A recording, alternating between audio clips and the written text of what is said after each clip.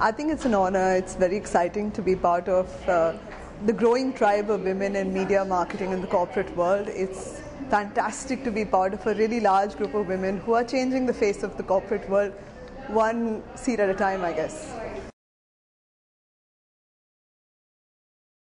Well, I think emotional intelligence is an asset for anyone in the world of leadership, and whether you're a man or a woman, if you are connected to the people you work with, you will be a really good leader.